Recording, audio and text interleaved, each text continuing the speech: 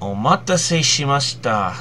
So, I've kept everybody waiting. Uh, this is the review for the original Macross TV series.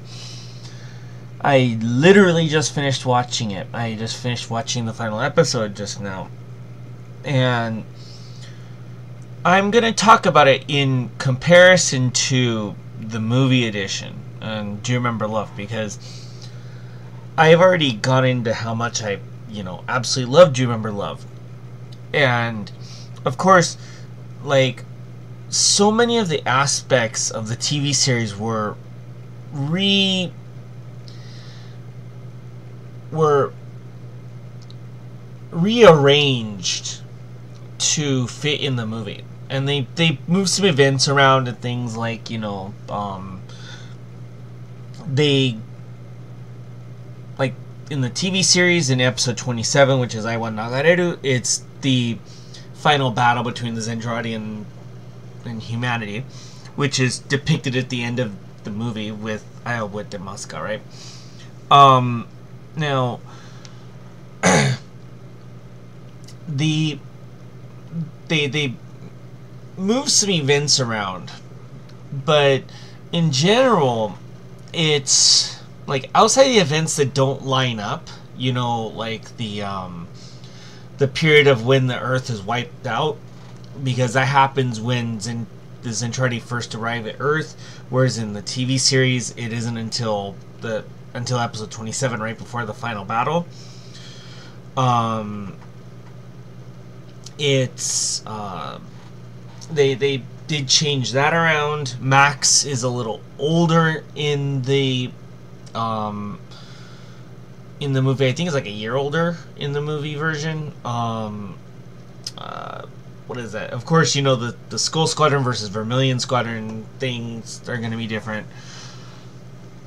but um, and then uh, of course, you know, Roy's death, Kakizaki's death are both very different. Um, the the TV series starts all this, but um, I think the the points like when you have such an amazing movie as Do You Remember Love? Why should you go back and watch the original Macross TV series?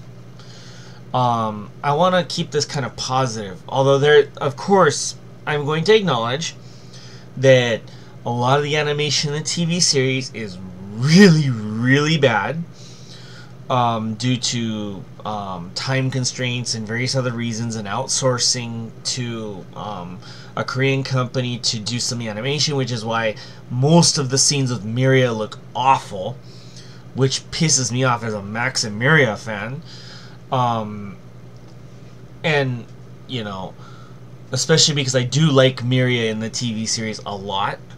Um, I like the, the they, they give her a more screen time and same with Max too. Like Max and Miria get like almost no screen time in the the movie, outside of their you know like their their one on one battle with each other after she kills Kakizaki. But um, the I, I think the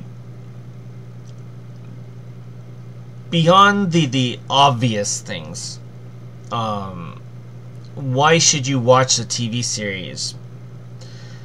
And I think it's for the characters. Now, I'm going to start with some minor characters and then move up to the the main characters. Um, now, the one reason to enjoy the TV series is the three Zentradi, uh, Rody, Bromuko, and um, uh, Warera the three that be, that go on to the Macross as spies, then they go back to you know the Zentradi, and um, then they they create a mutiny, and then they all escape to, to run back to the Macross to live there as as um, refugees, basically. Um, the their characters are very well done, and I think that um, they get very little screen time in the post-war stuff I mean, they get more than Max and Miria, which pisses me off. But um, but the screen time they get in the post-war is actually really good for them um, because you can see that they really took to culture and they are trying to like make like make a living for themselves they're like they work at a, a, a cleaning com uh, a cleaning place then because they get fired from that they try to like sell toys to kids for Christmas. Um, you know, they you can see that they actually really took onto um, uh, uh, they they really believed in what um, what they saw from uh, and what like living on the Macross and things. the next three characters I think um, need incredible push are the three operator girls Kim, Vanessa, and Shami.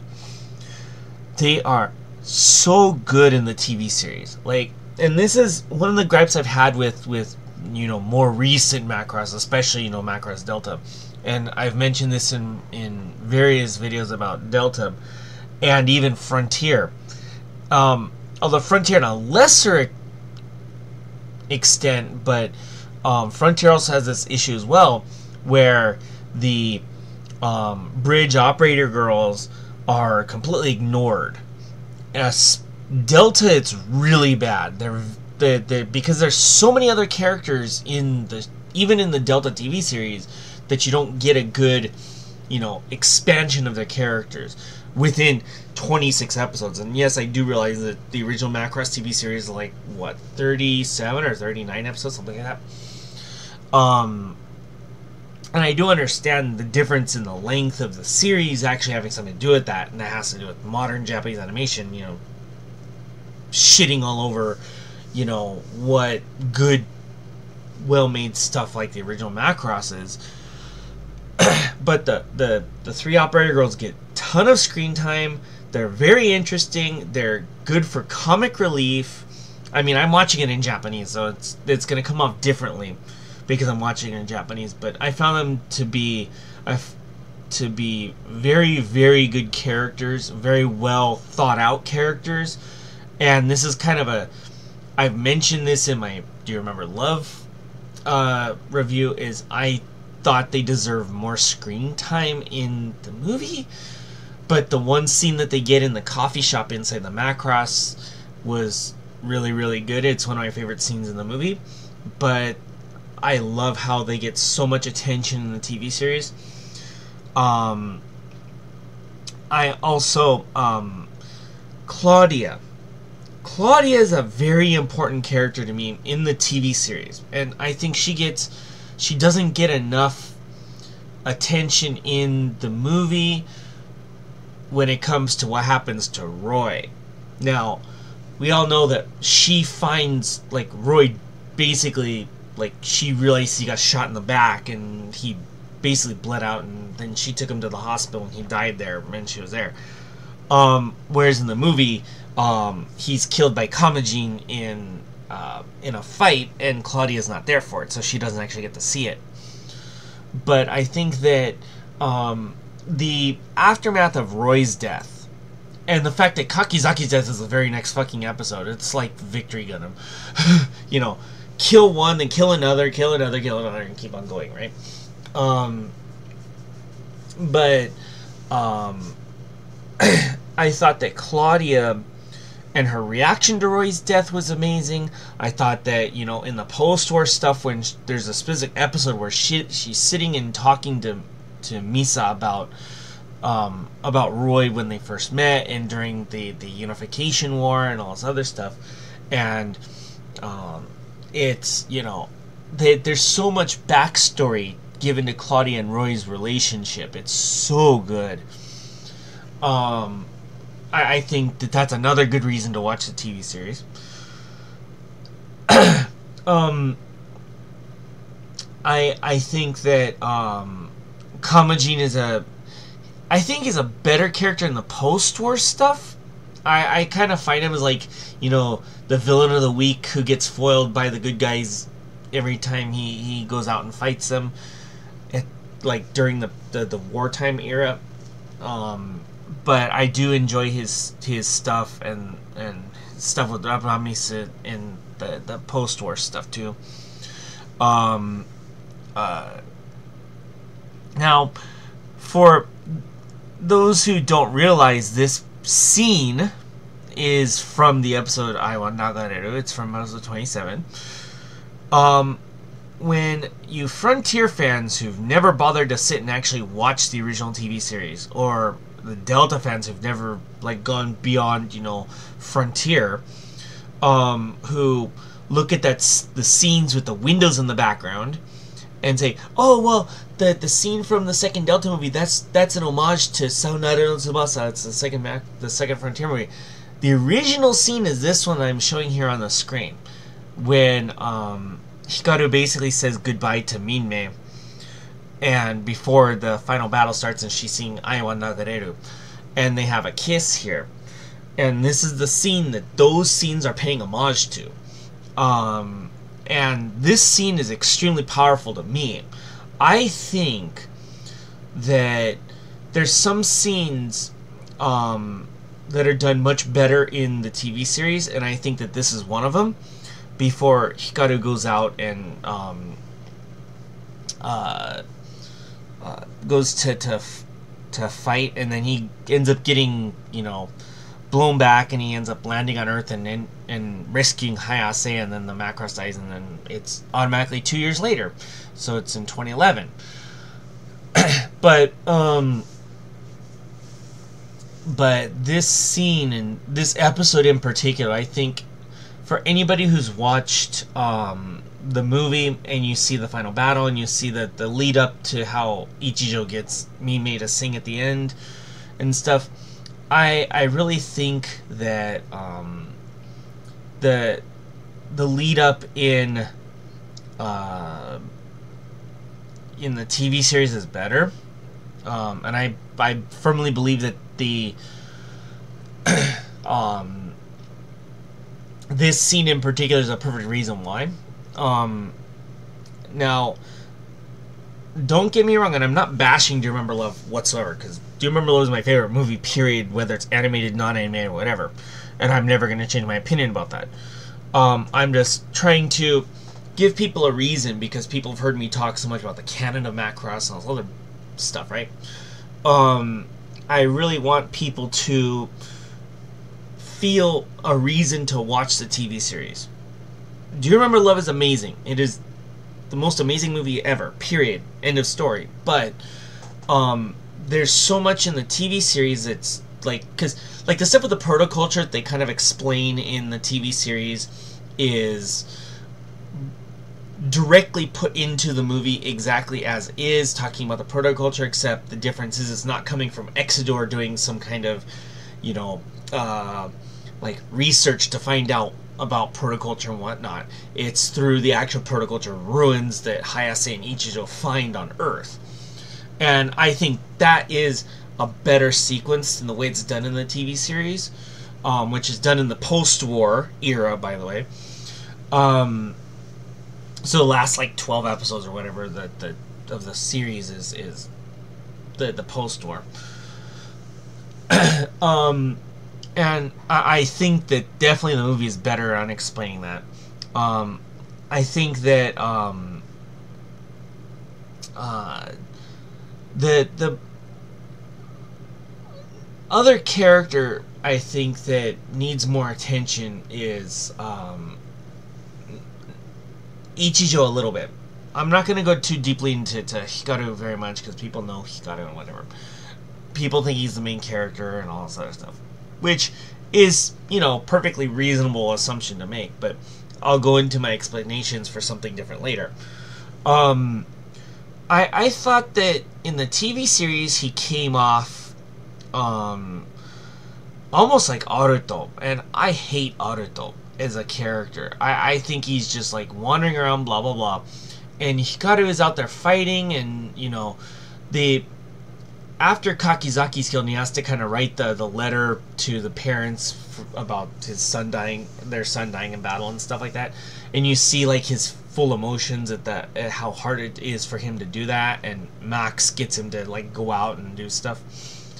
Um. Uh, I, I think Ichijo in the movie is a little bit better of a character. I think he's better done, but I'm I'm not gonna go much more beyond that. I'm gonna complain about Max a bit because I thought that Max was treated too um uh like he he's so immature until he meets Miria and then they get married and all that other stuff, right? And I thought that they they made him like look up to Ichijo way too much. Um whereas in the movie, of course, Ichijo's gone for a month after the fold and all that other stuff. So it ends up being that Max becomes the leader of Skull Squadron, and then Max disappears with Miria inside her ship. So then Ichijo becomes leader of Skull Squadron again. It's all a jumbled mess, but it, I mean, at least Max has more of a development process there, where in the in the TV series he doesn't so much. There's a lot of good character moments with him, but I think that he's better done in the movie. I just wish he had more scenes in the movie. Um, uh, because I'm a Maximilian fanboy, but we do get tons of Maximilian in Macross 7. And, and of course, we get lots and lots of Max in, in Delta, so I, I'm, you know, I can't complain too much, right? um, now, I thought that Hayase's character was done extremely well. She's, you know, you can see some of the, the like, she's not as cold as she is in the movie, but, um, and I think they, they purposely changed that because they wanted to create more of a conflict between her and Ichijo, so when they finally do fall in love together, it's actually a little more believable in that sense. Whereas in the TV series, I thought it was more believable than the movie um, because Hayase just, you know, Claudia keeps telling her, quit, quit holding back and just be honest with yourself and honest with Hikaru and tell him your feelings, and she keeps pushing it off, and she's, you know, doubting herself, and she, you know, can't ever, you know, bring herself to, you know, explain, like, to, to um, express herself, whereas in, um, the movie, I thought um, the progression was natural, but it seemed a little rushed because of the the time allotted for a movie because only like two hours, right? So, um, I do like Hayase. Now, let's get on to Minmay because I believe she's the main character. Um, and you know, people are going to argue about this. This is up to my, this is my review. This is my interpretation of it. Okay. I think Minmay gets the most character development out of any character in the entire show. In, in the, the TV series. This scene is absolutely amazing. Um, that's on the screen. Um, but in the post where you see her situation with, with um, her cousin, with Lynn Kaifun, Kaifun and you know um uh you can see like he's kind of abusive towards her and and you know he's you know um kind of like holding her back in a lot of ways but um you know the entire time Ichijo still thinks about Minmay even though at the time in the early part of the post-war stuff he doesn't even see her um, and he can't get a chance to talk to her or anything. And then Hayase being jealous, you know, um, you know, tries to prevent them from prevent Ichijo from talking to Minmay. But I think that um, Minmay as a character has the most development. You have to think that at the beginning of the show, she's what uh, 15 going on 16. She's still, you know, very childish. Um, and, you know, between her and her now budding music career on the Macross, and then Ichijo being a pilot, and then they can't actually, you know, talk to each other very much. Um, uh, one scene that, that shows how immature she is is the um, uh, episode Burst Point, which is where Kakizaki dies, which is the which is the episode after Pine Salad, which is you know episode Roy dies. Um, the the it shows how childish she is by when she tries to call Hikaru to come see her in the hospital after she you know collapsed from being overworked um, and she has she doesn't understand why Hikaru is so sad or anything like that. She doesn't bother to care about him. She's very very self-centered and everything like that. And in the post-war, once she, you know, um, realizes, you know, because it's been two years, um, like you can see that she's grown up in a, a lot of ways, but in other ways she hasn't. Um, the um they like she tries to get Ichijo at the end of the series to quit being a pilot and then she said well I'll quit being a singer if you quit being a pilot and all this other stuff um which in the movie is cut back to one sequence um where she says where um she's like well why can't everybody's um why can't I be with you alone for a month or something like that um why um, why should I sing? I you know, um, I just want to be with you and all this other stuff. Um, and then uh, Hikaru slaps her. In the TV series, he doesn't slap her.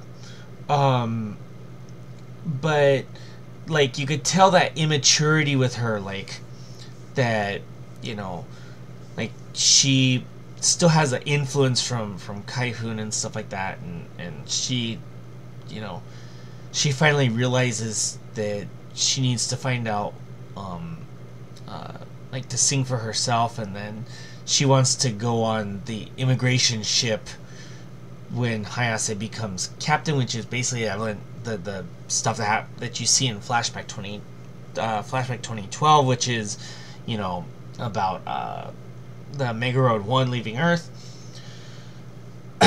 which that so the TV series does actually connect to flashback as well, but it not very directly. Um, now in terms of the the Valkyries, there's one thing that I noticed and one thing that I need to point out.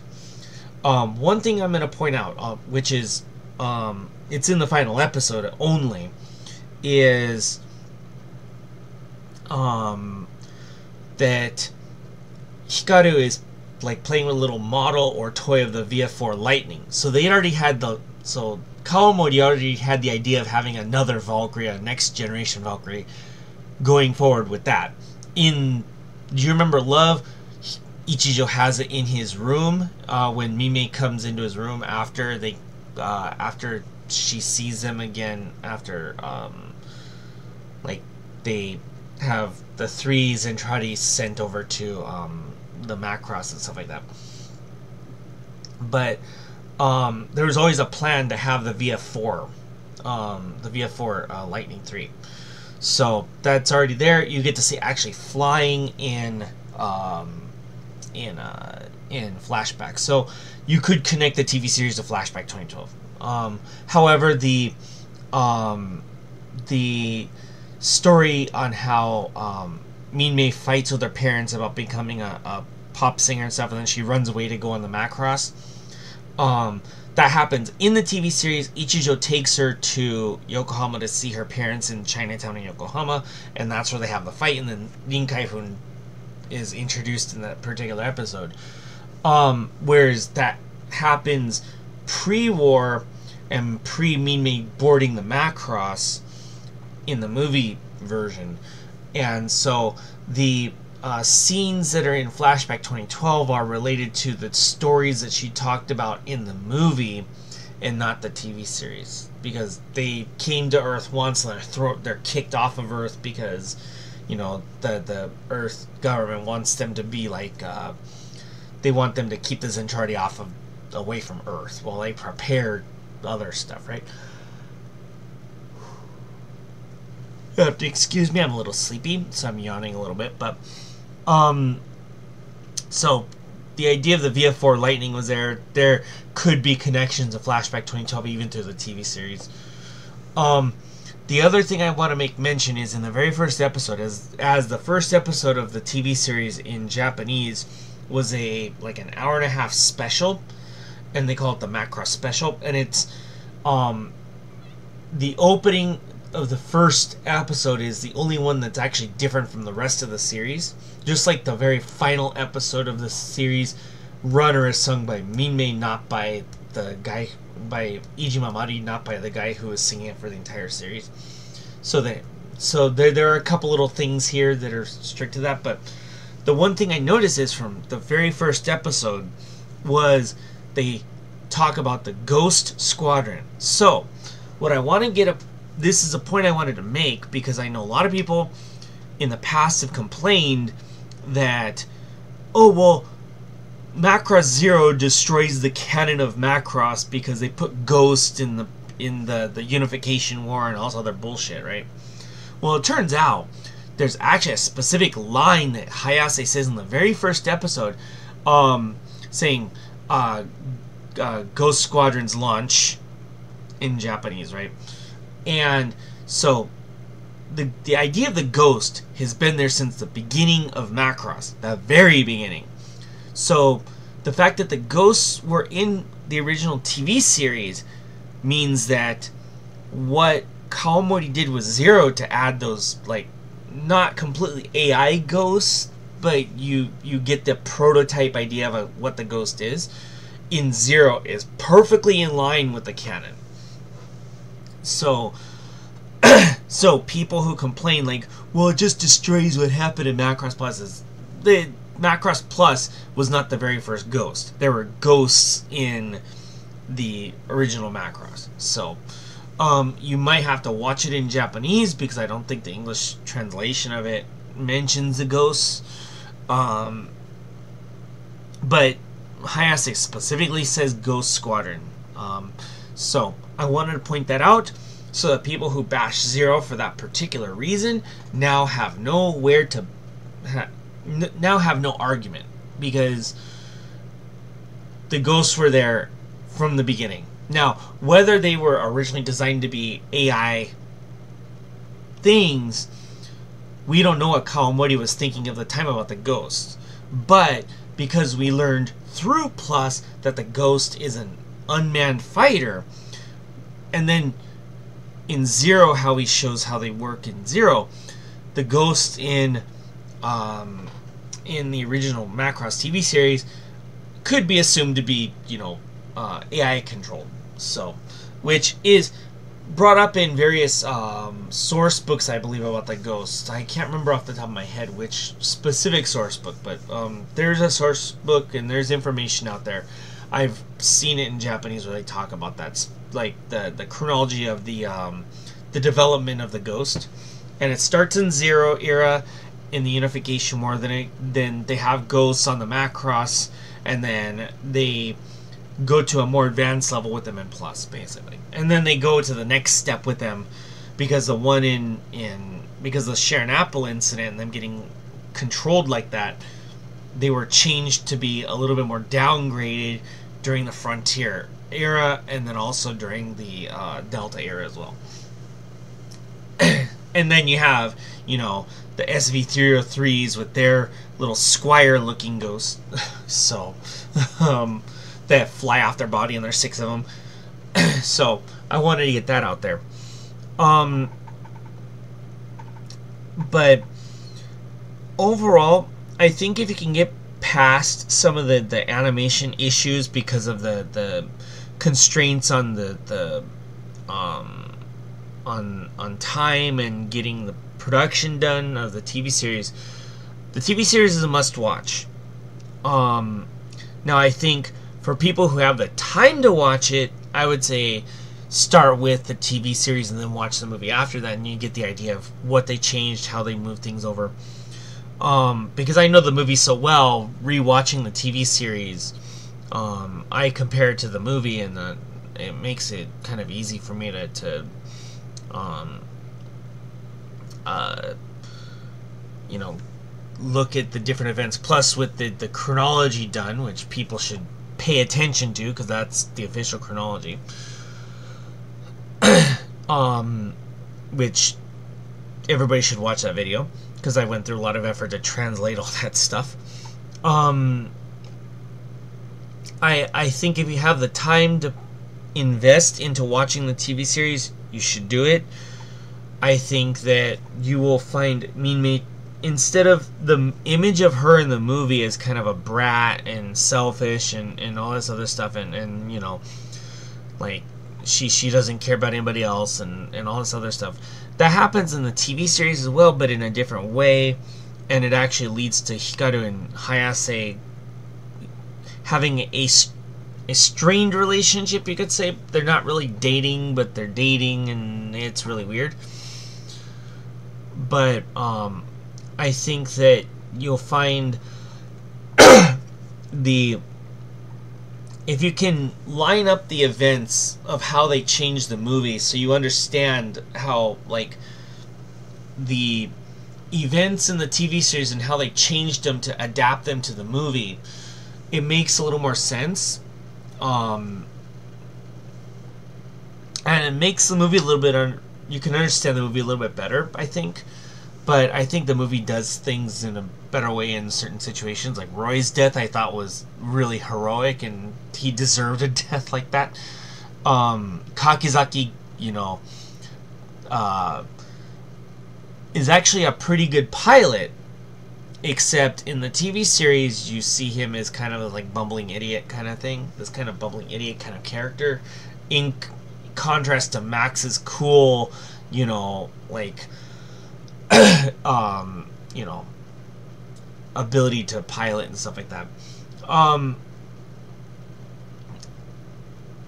so I, I definitely think if you have the time, watch the TV series. If you if you're crunched on time, watch the movie. Um, if you've never watched the original Macross, right? I think that if you, um, I mean, if you watch the movie and then you go back and watch a TV series, which I did bring up this discussion during that uh, podcast thing I did. Um, that was one of the things that we brought up was the what we should watch first, and I said, "Do you remember Love?" and and one of the people who joined was um, uh, saying it should be the original TV series. Now, I will say this that I will agree that if you watch the movie first and you see that amazingly done animation and it's all of Mikimoto's artwork as is, you know, on the screen, and then you go back and watch the TV series, you're going to be quite disappointed in the quality of the animation. You're going to be very, very disappointed. But I think that you need to ignore the animation quality for the TV series. The story is well done. Um, Minmay is a really good character. I think she's the main character. Kind of like, you know, Freya is the main character of the second Delta movie. Um, I think that that's the best comparison to make is is Freya in the second Delta movie is is basically the main character of the movie. Hayate's kind of just there. Um, he's not really the, the, the pro tag at all. It's definitely Freya. Um, I think that if you look at it from Minmay's perspective and you try to watch Minmay's development throughout um, the TV series. I think you'll enjoy the TV series a lot more. Um, because I think too many people look at like Ichijo as a main character. and of course he's a catalyst for so many of the events, but I think if you look at it from Minmay's perspective, it's it's quite a bit different. I think it's a much more enjoyable um, show. Um, kind of like how I say when you watch the second Delta movie, you should watch it from Freya's perspective, not from Hayate's perspective, and it will be a much more enjoyable uh, movie, and it'll be a much more powerful movie. Um, like of course in the in Do You Remember Love, I think Ichijo is the main character, so Mei is kind of relegated to the background a little bit, um, which kind of sucks. I think Mei deserves more of a direct like lead role outside of like the the singing stuff that she had. The TV series does that though, so I think um, the the TV series is a good chance to see what they were going for in general, and then what they did to go back and rearrange things to make the movie. Um, but if you do have the time, watch this first, then watch Do You Remember Love. Um, otherwise, you'll get completely disappointed by the animation and some things you may not like in the TV series compared to the movie. Um, but they each have their their their um, pros and cons. Um, I think you know, being a Maximiria fanboy and the episode Viva Maria. Oh, I love that episode. Um, because it's all it's like mainly Maximiria and and Komilia Maria. Um, and um, you know, Miria's way of uh, you know raising Komilia is really funny. So I think um, and then you know Max trying to teach her how to be a like more like a person is actually really, really interesting. Um, I think um, everybody should watch that. Um, I think um, uh, it's definitely like once you, if you do get to have some time at, eventually, you should watch the TV series. Um, I think um, I will never say don't watch the TV series. Oh, it's not canon or something. There's events in the TV series that are considered canon, like in um, was it the episode Romanesque, which is the second to last episode. Um, one of the pilots in Skull Squadron with Ichijo as a black guy, and I've mentioned this before, is that he has been uh, rewritten to be Millard Johnson from Macross Plus. So there, there's that little you know Easter egg there. so when he pops up for one little scene, you can say, they have him made as uh, Johnson from Macross Plus, and that that kind of makes a connection to Macross Plus because there's not a whole lot of stuff in Plus that really has anything to do with you know the first Macross or anything else. So, which is kind of sad because I outside of like you know Kate singing you know Watashi no Kare wa Piloto and then basically um, is I think that's like the only thing that really directly relates to like a direct connection to the first Macross is only that's one little song. So um but I, I, I do recommend it. People should watch it. Um I rewatching it again. I haven't rewatched it for about a year, I think. I, I think I rewatched it last year.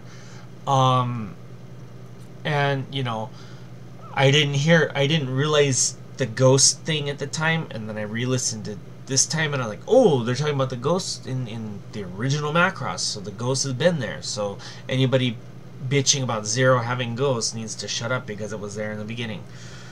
Um. So, um, uh, I, I do recommend it if you have the time to go through it. Um, I you know, finally had a chance to rent the DVDs because I couldn't find a decent place to download them from. So I rented them, um, ripped them onto my com- uh, uh, dropped them onto my computer so I could watch it. Um, and I, it was a lot more enjoyable than the last time I watched it. So I think with the TV series, it might take a few watchings to really, you know, enjoy it to its fullest. But if you know what happens in the movie and you go back and watch the TV series and you can place where they change the events and things like that, it actually does make it kind of interesting. Um, I think that the movie does certain things better. I think the TV series does certain things better. Um,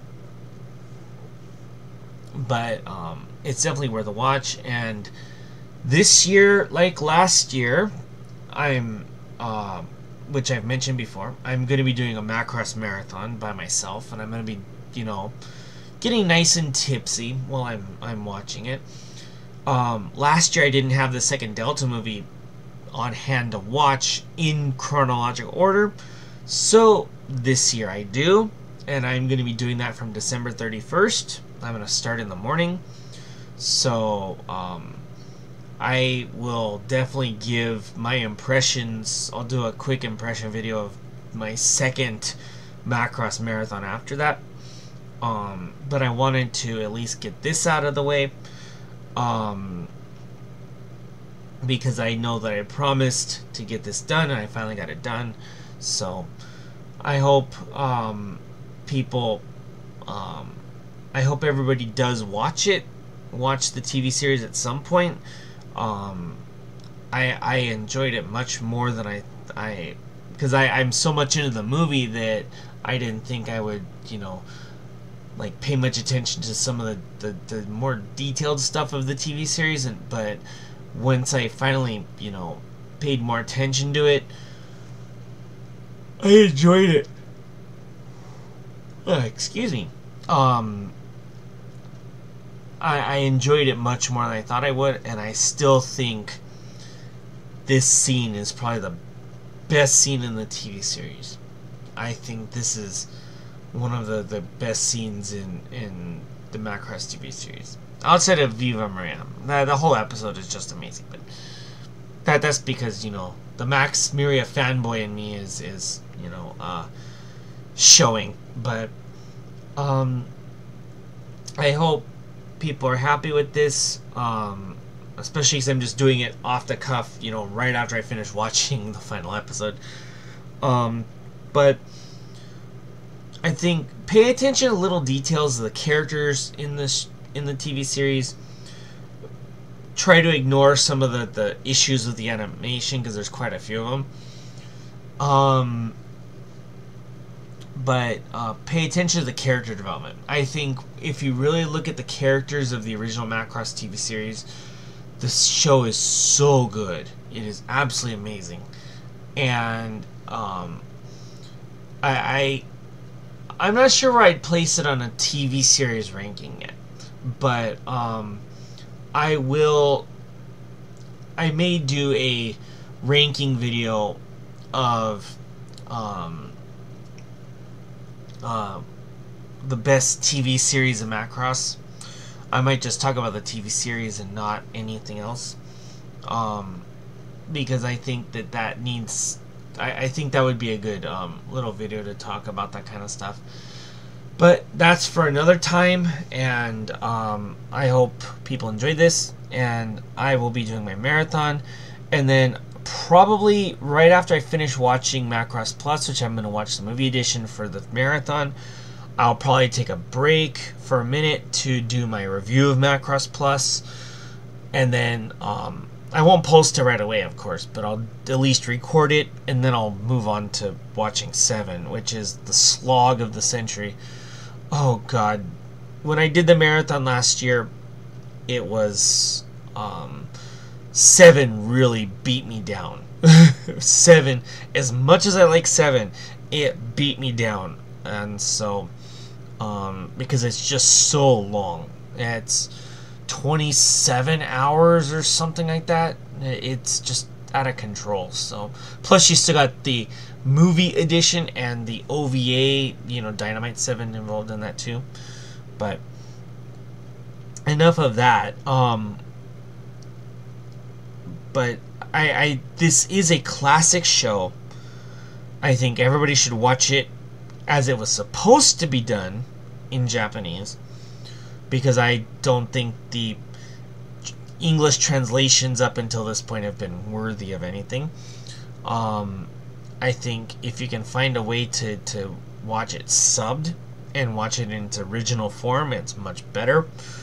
Um, definitely, um, it's a classic that cannot be ignored, and I recommend it to everybody um, because it's Macross, and Macross should be recommended outside of the Delta TV series and the first Delta movie. Well, Delta TV series a little bit, but the second, the first Delta movie can just piss off. Um, but I do want people to understand that this show is what actually influenced Gundam. The Valkyries, um, and the transforming, you know, if you want to call it a gimmick, you can call it a gimmick or whatnot was the reason why there were transforming mobile suits in Zeta Gundam. It was because of Macross. So nobody should ever forget that. Macross influenced Gundam. And Kawamori actually had a big influence on Gundam as well. But before that, before he even did Macross. But I want to make another point is that before I end this video is that Kawamori um uh his basis of making the show was not Gundam, but it was Space Battleship Yamato. He was a big fan of Yamato, which is why the show is about the ship in you know Macross. It, the ship is a primary role of everything. It, it, plays the central role in almost everything in, in both the movie and the TV series. So, um, I just want people to keep that in mind that this is it's a space drama with a love triangle and it, it was more based off of space battleship yamato than anything else um, it's definitely worth a watch. You should watch it. It's amazing. Um, and i will get the heck out of here. So i hope that uh, people will enjoy this. Um, i'm gonna have to find some uh, other content to make, but I think I will do a ranking of the TV series at some point of Macross, not the movies, because, you know, we all know what my order is going to be. Um, and I already did a ranking of all my favorite Macross stuff anyway, so. Um, but anyway, I will see y'all next video, and I hope you enjoy this one.